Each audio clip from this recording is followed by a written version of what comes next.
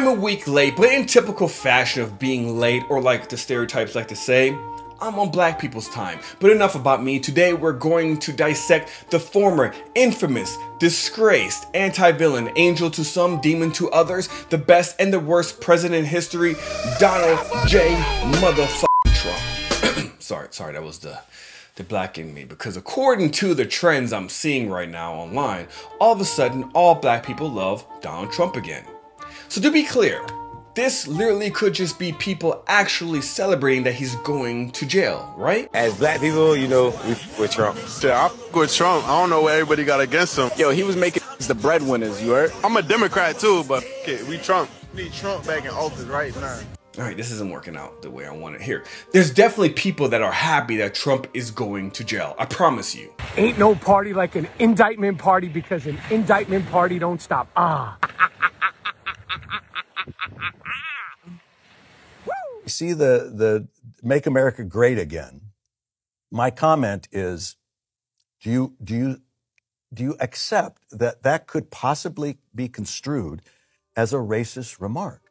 All right, so so only white people apparently are happy that Trump is going to jail. Is is that is that why I'm so confused? Because I'm half black, I'm half white. I just I just don't know what to think. This is this is a hard subject. Antoine Smalls has transracial identity. So that's right, Trump is once again facing another allegation, but this one is a RICO case that may actually stick because it's a fucking RICO case. Okay, if you're not familiar with what a RICO case is, let me break it down for you.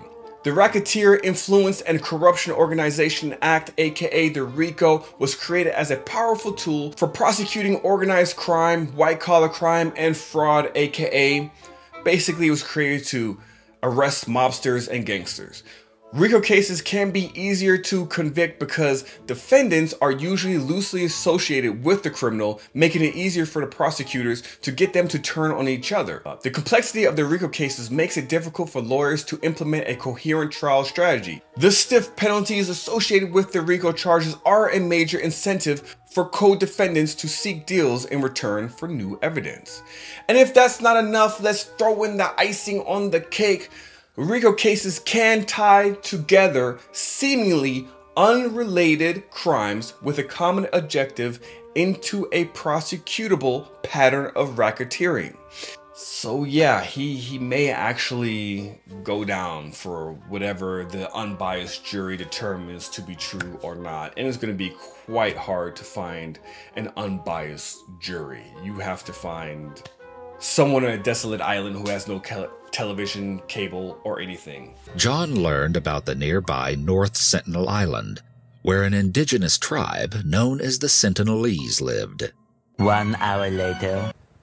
Well, disturbing news from uh, an uninhabited, uh, an out-of-bounds island, I beg your pardon, in the uh, Andaman and Nicobar chain. An American tourist identified as John Allen Chau, 27 years old, has reportedly been killed by the Sentinelese tribes. We shall see, but this one is a case I would really be worried about for all the Trump lovers out there. So I'm not sure if it's the fact that Trump is getting hit with RICO charges or if it's just the fact that the DT might actually get locked up that all of a sudden turned him from a racist to my favorite president, the homie Donald Trump such a drastic change because I remember when black people supported Donald Trump during his initial run to be president and they were called Uncle Toms and Coons with a narrative of a token black person that is doing the master's dirty work. Have you ever heard the term uh, wake up call?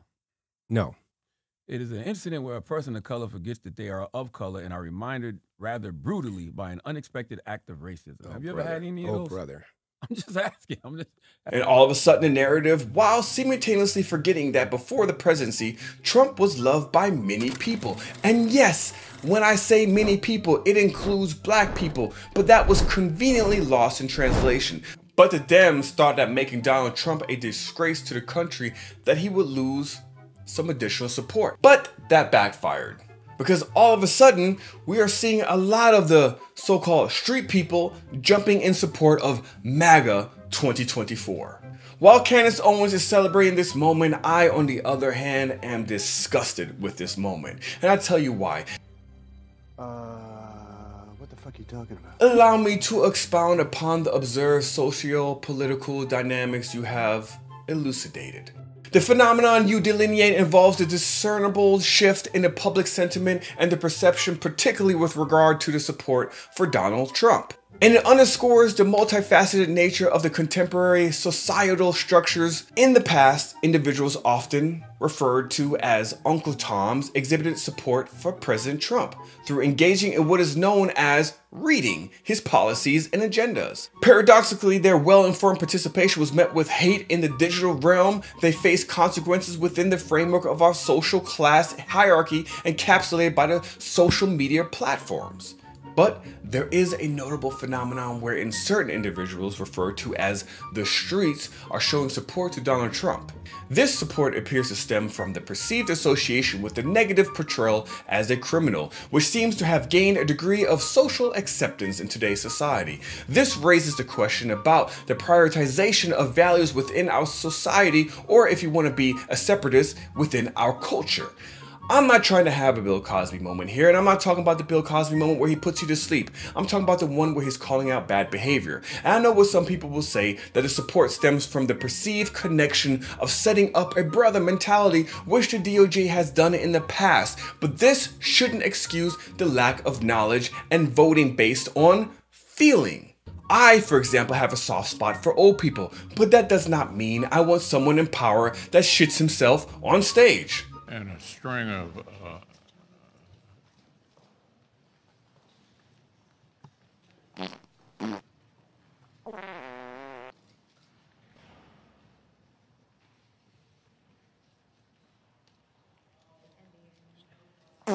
All right, listen, I, I don't want anyone saying he's actually shitting on the stage. We really don't know what's going on with him. But point being is that I have a soft spot for old people. And we have two old people right now, technically three old people that should not be in power running this country.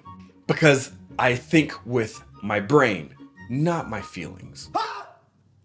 That's all you have to do! Let me put on my tinfoil hat. What if black people always supported Donald Trump? But the media refused to push that narrative and suppressed any possible viral moment of a black person supporting Trump. They contacted Mr. Trump over the phone. And he came down here. Instead of him evicting me off the property, he said that I can stay and it's been eight years. And instead, they chose to begin pushing a narrative, but only within the stereotypical hood people, further feeding the depiction of black people as ignorant and uneducated. Or, or, or, I'm just thinking way too much into this. Why are you the way that you are? I hate so much about the things that you choose to be but what do you think? What do I know? I don't know. I don't know how to feel about this whole situation, but what I do know is that all of a sudden Donald Trump is being praised within the culture. And if you enjoy this type of satirical, political, and pop culture humor, by all means, smash that subscribe button because according to the analytics, 92% of you are watching my videos, but you haven't subscribed and you definitely haven't given me a thumbs up and you 100% haven't clicked that bell button to get notified every single time I drop a video. So help a brother out. Yeah, Yep, that's what HBO stands for, Help a Brother Out and Half Breed Observer. To please subscribe, it would really help out my channel. Until next time, fuck off.